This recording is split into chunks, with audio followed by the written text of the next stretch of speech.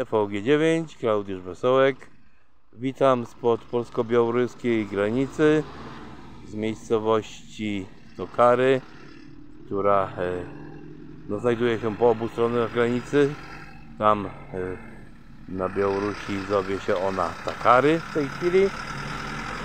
No i ja tylko już krótko, bo ja tłumaczyłem już kiedyś czym różnią się uchodźcy od imigrantów, a te łajzy, które, które próbują tu przekraczać granice, to nawet imigranci ekonomiczni do końca nie są, a na pewno nie uchodźcy.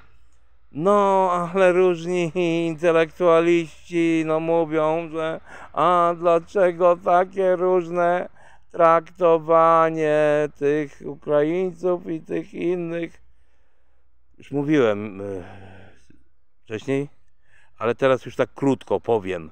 Przede wszystkim jest taka różnica, że Ukraińcy uciekają przed Putinem, a tych łajzów Putin tu nasłał. I to, to powinno nam, Polakom, e, wystarczyć.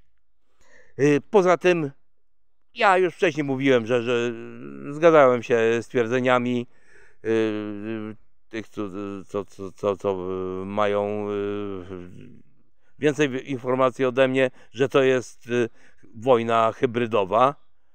Teraz jest to pewne, że, że jest to wojna hybrydowa i to wszystko stanowiło między innymi przygotowanie do już takiej otwartej wojny z Ukrainą. No niestety, niestety różni intelektualiści dalej, dalej pierdolą swoje, swoje.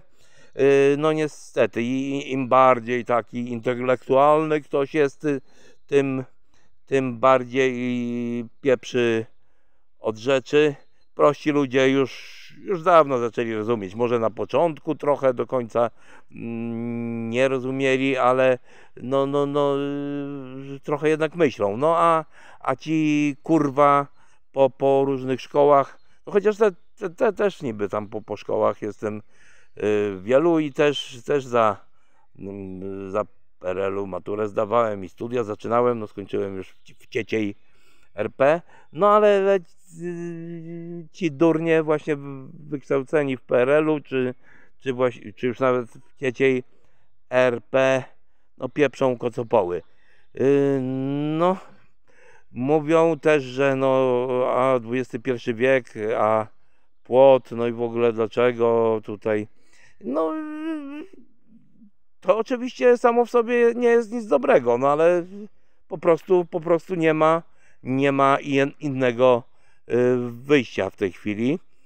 Y, no może, może y, kiedyś, kiedyś ten płot, no pewnie już zostanie, ale, ale w takich miejscach jak te będzie można mm, spokojnie go przejście graniczne prze, przekraczać, ale no to trochę trochę potrwa i mam nadzieję, że ci chłopcy z białoruskich batalionów y, y, imienia Kastusia Kalinowskiego i Pachoni, y, którzy walczą na Ukrainie, no kiedyś wrócą na Białoruś i tam zrobią porządek.